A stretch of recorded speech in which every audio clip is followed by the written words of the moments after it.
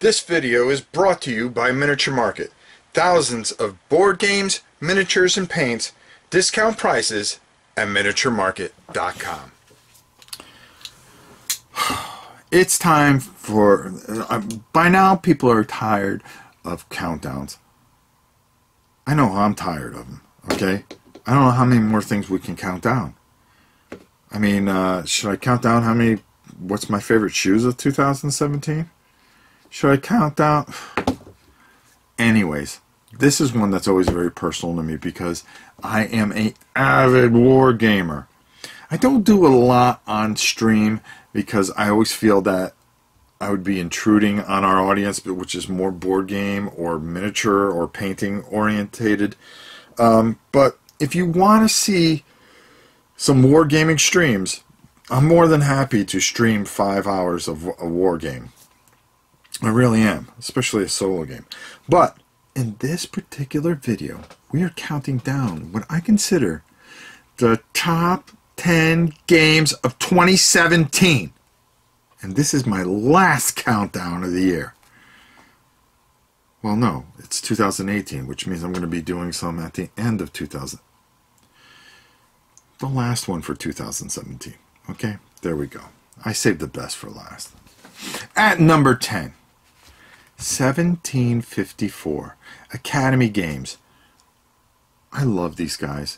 1754 Conquest, great game. The French and Indian War.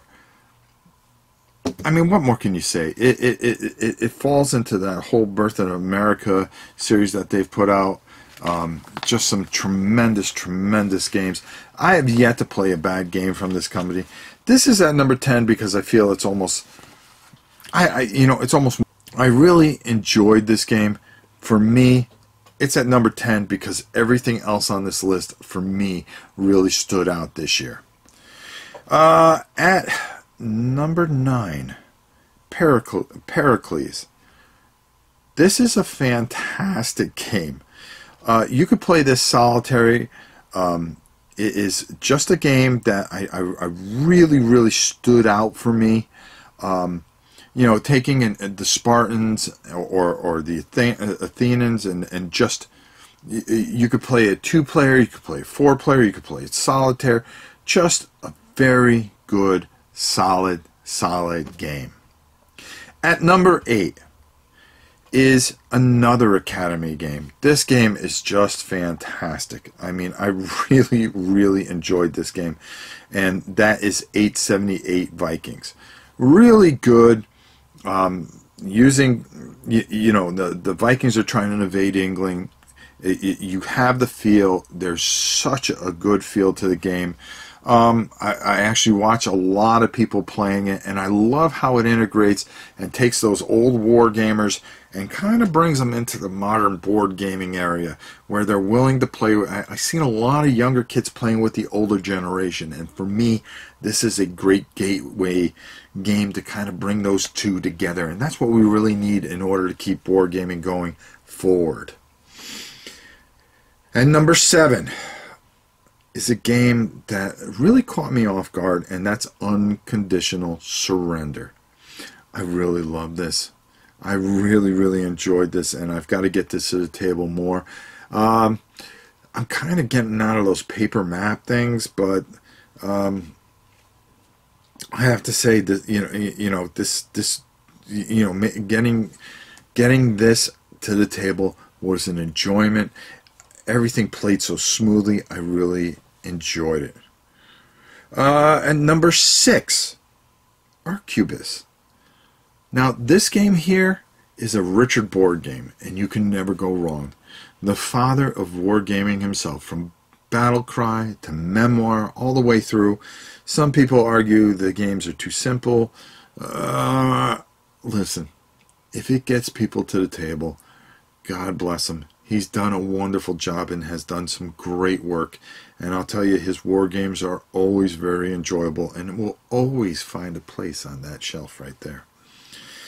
At number five, Bloody Monday.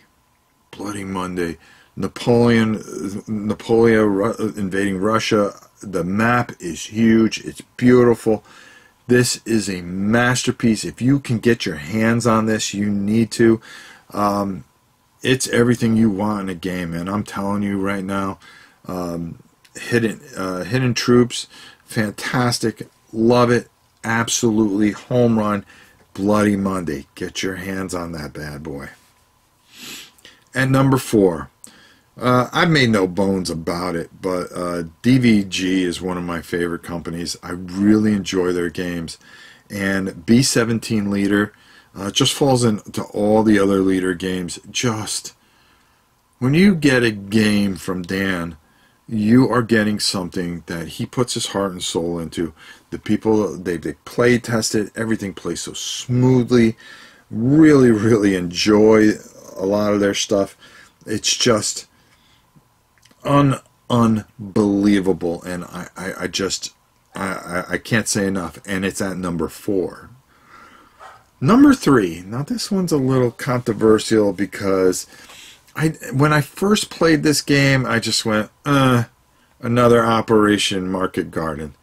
And people went, oh, you know, you don't know nothing, blah, blah, blah, blah, blah, blah. You know something? They're right. They were right. I didn't know anything because I decided to put it to the table again and play it again. I actually played it two more times. And I found each time I played it, I loved it even more, and I was too hasty in my review of that. Um, I can never get tired of Operation Market Garden, to be honest with you. And, and this wasn't just another Operation Market Garden uh, game. This was really well put together and a fantastic, fantastic job. And that's Holland 44. Whew. Boy, was I wrong. I just needed to play it a little bit more. And to be able to sit here and tell you I was wrong. yes, it hurts, but hey, got to call it as I see it. I was wrong. At number two. Now, this game, people either love it or hate it. But the thing that I really love about this company is that Mark Walker has put a lot of passion into his war games and he believes in his war games and his games are quality. The maps are unbelievable and the rules and uh, i've enjoyed everything that he's done from Night of Man to 65 all the way to this. Old school tactical volume 2 western front. Now eastern front people have complained about but you know something? They listened they made the adjustments and they came out with part two, uh, volume two, the Western Front, and they twi- they listen to people. They really do, and they've always answered questions. They put a lot of passion into what they do. You should go visit their website. matter of fact, uh, what's today? The I'm filming this on January 4th. They're having a big sale all the way into next week, 30% off if you can get your hands on some of this stuff, I absolutely think you should check it out. This is a great game. Another introductory game where you can take and put this big, beautiful map with the well drawn tanks and everything else that they have and get somebody younger that's never played and get them into this game. I'm telling you, they would enjoy it and love it. And I think this, for me, this year, deserves my number two slot. Now, before we get to the number one game this year, I'd like to give you some things that I really felt were honorable mentions because there was a lot of good stuff that came out this year.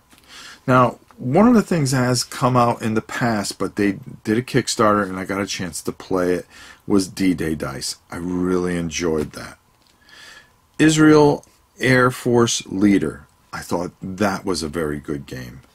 Colonial Twilight, part of the Coin series. Another very, very good game. It came in too late for me to to check out, but a game that I was excited about and I think would have made that that list, and I have to leave it off because I did not get to play it, was Wild Blue Yonder Down in Flame series. I've never played anything that was wrong out of that.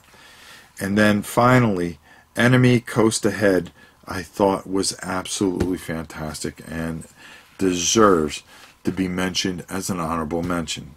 So, what's number one? Who's the big hero? Who's the one that comes out as my number one game? Well, there's only one person that has made games that I have been blown away beyond belief. And that's, again, Dan Verssen. Now, the thing I want to say about this, though, is this would probably, uh, you know, when I start thinking about my all-time favorite games, and and then some of them in there, when I start thinking about Second Front, it always needs another player.